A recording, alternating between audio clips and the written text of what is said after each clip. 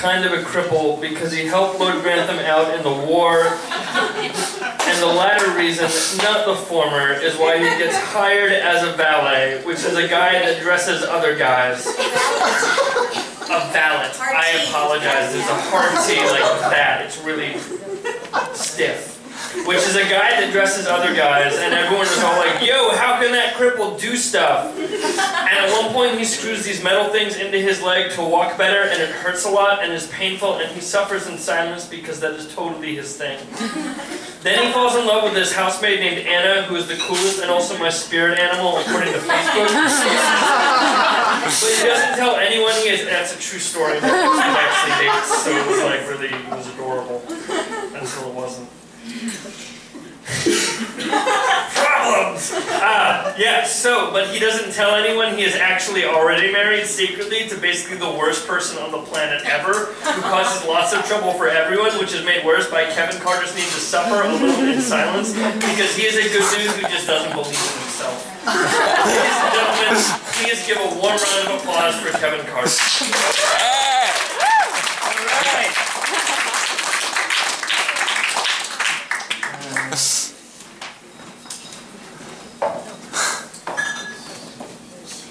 That was all true, and I'm going to read some fiction. Alright, so, uh, yeah, I think you guys should probably guess that. So, uh, I'm going to read a uh, book report about a book by Lester Bangs called Psychotic Reactions in Carburetor Dung. It's a very descriptive title, and it is exactly what's in the book. REM name-checked him in It's the End of the World as We Know It. Philip Seymour Hoffman played him in Almost Famous.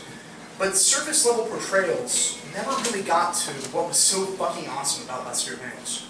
What made him so awesome is that he wrote the most unfettered, torrent of consciousness punk rock voice of any music critic ever.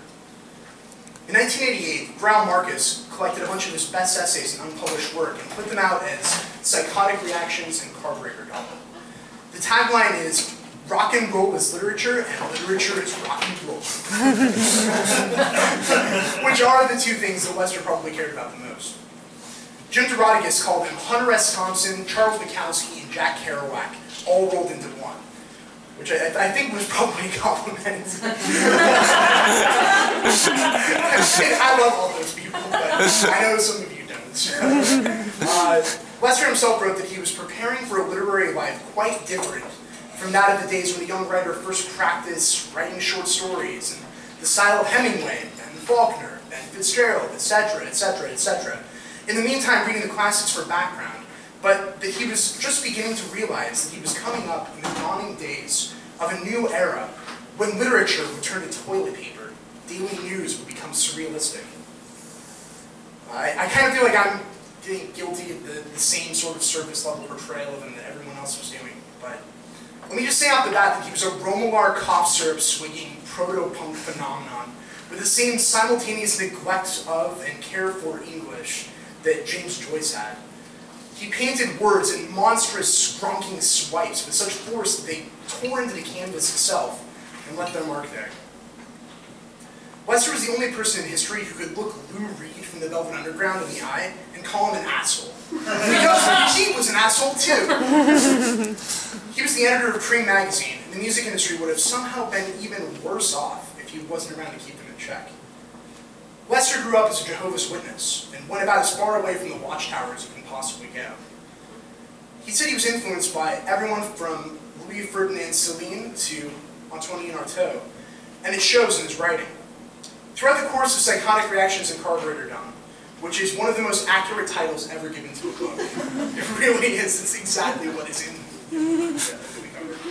Lester manages to do the following. He performs a Bayat beaten beatnik monologue explaining the insanity of the time to his hypothetical grandkids, and still somehow manages to sound blasé. Describes the sublime and the anarchic squalor of Iggy Pop and the Stooges, eradicates James Taylor from relevance, ever. Prophesies a terrifying post-apocalyptic zombie-filled wasteland before it was cool. Rediscovers himself as a stumbling drunk the saxophone player after he finally grokks John Coltrane. Rhapsodizes over Van Morrison's austere album, Astral Weeks. Brings his typewriter on stage with J. Geils' band, and sits there typing, doing a live review of their show, as he's playing the best goddamn guitar solo in the entire world. Rips the ironically racist hipsters of the time a new asshole by pointing out their hypocrisy. Interviews the members of Kraftwerk and makes them look like sprockets from the SNL while simultaneously heralding in the new era of electronic music. It's really incredible. totally check it out. Matter of factly drinks two bottles of cough syrup and goes to see Tangerine Dream. Sounds like the most fun thing you possibly do. Eviscerates David Bowie for his racist thin white duke period. This is fucking horrible. Where he was so coked up that he was riding through London in a convertible, sea every night.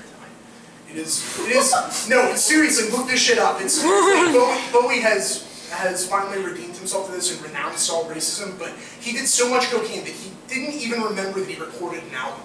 no, wait, literally, people asked him about it after, this is not a thing here. literally asked him about it afterwards, and he was like, I don't recall. Simultaneously glorifies and castigates the Clash for all the things that they should be glorified and castigated about. Gets to the bottom of what The Blank Generation by Richard Hell and the Voidoids is all about, while exposing Richard Hell as the badass Lautréamont style poet that he was. Calls Lou Reed a pathetic death. Calls Lou Reed a pathetic death and a panderer living off of the dumbbell nihilism of a 70s generation that doesn't have the energy to commit suicide. Reed says the most ridiculous stuff while Lester pans his new album as, quote, pasteurized decadence. Later in the book, Lester also says that he would suck Reed's cock. Because he would also kiss the feet of those that drafted the Magna Carta. That's true, it's a direct quote. Without a doubt, Lester's best moments came when they were either extolling Lou Reed or completely ripping him apart. Reed came out with this album called Metal Machine Music. Has anybody ever heard Metal Machine Music? Yeah. Metal Machine Music is nothing but guitar feedback. And nothing, that's it, nothing else. Lester called it, quote, a one hour, two record set of nothing.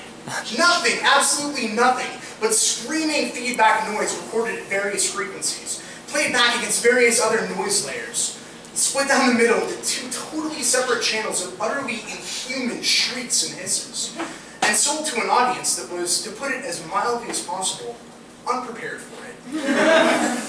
because sentient human beings simply find it impossible not to vacate any room where it's playing. Lester tried to defend it when he interviewed Reed about it in the book by assuming that it was a big fuck you to the record company, that Reed was just trying to get out of his contractual obligations. But Lou wouldn't let himself get off so easy. He claimed that it was one of the best things that he'd ever written.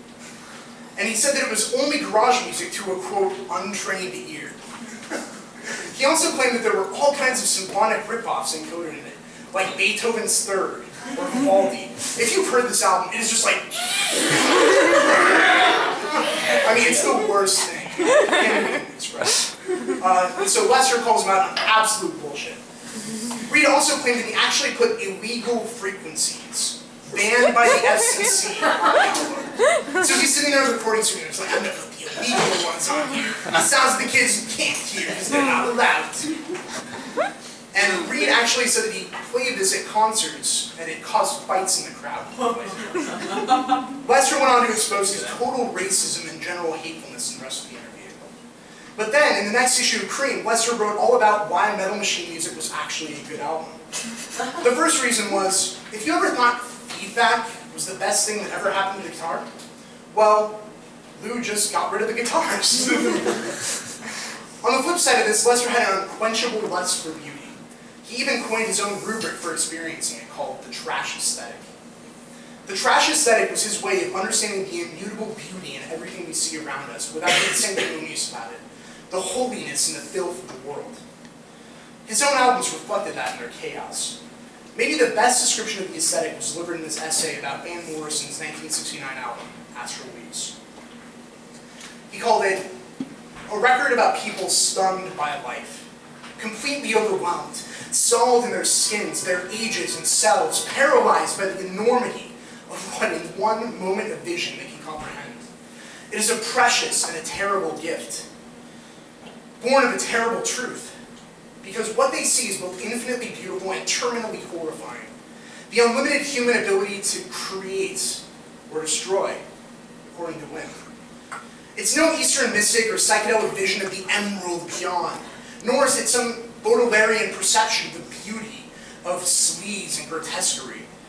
Maybe what it boiled down to is one moment's knowledge of the miracle of life, with its inevitable concomitants of vertiginous glimpse of the capacity to be hurt, and the capacity to inflect that hurt. Transfixed between pure rapture and anguish, wondering if they may not be the same thing, or at least possessed to an intimate relationship. Lester had problems. he was actually addicted to drugs, maybe more than anyone else who ever lived. he was a misogynist and transphobic, dabbled with racist undertones in some of his writing. And there are parts of his work that ring hollow. Like many rockers, he wasn't exactly a stand-up guy. You get the feeling that he knew he was capable of more, but he was on some kind of Hunter Thompson-style roller coaster that only went down the hills and never back up.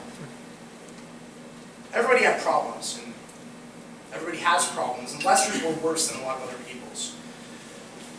I don't know, maybe it's just like Lester said within his final confrontation with Lou Reed. I never met a hero I didn't like, but then I never met a hero. But then maybe I wasn't looking for one. Thank you.